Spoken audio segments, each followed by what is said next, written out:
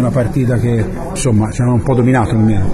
Sì, sì, il Milan ha dominato, però il primo tempo ci siamo comportati benissimo, con atteggiamento, anche a livello tattico. Noi abbiamo conceso tanto, però dopo sull'episodio non so, non ho guardato, non so se c'è rigori, però sono certo che, che Abate era l'ultimo difensore. Quindi puoi dare fallo, però puoi dare anche il cartellino rosso, che ha cambiato la partita. Però diciamo che il primo tempo bene, il secondo tempo meno bene, dopo il 2-0 secondo me era molto dura, però pensiamo alla prossima, teniamo il positivo che abbiamo fatto il primo tempo, pensiamo alla prossima contro la Lazio che, era, che sarà ancora fondamentale anche fondamentale per la salvezza e non dimentichiamo che siamo ancora a tre punti del Sassuolo che il Bologna deve giocare stasera però così però senti parlavo prima che con il collega da un punto di vista dei numeri no? di matematica di classifica non siamo assolutamente condannati anzi ci sono sempre tantissime chance siamo. però da un punto di vista di buonsenso considerando diciamo, i risultati ottenuti sin qui insomma appare allora, difficile no? di, di... sono d'accordo sulle ultime 6-7 partite non abbiamo fatto tanti punti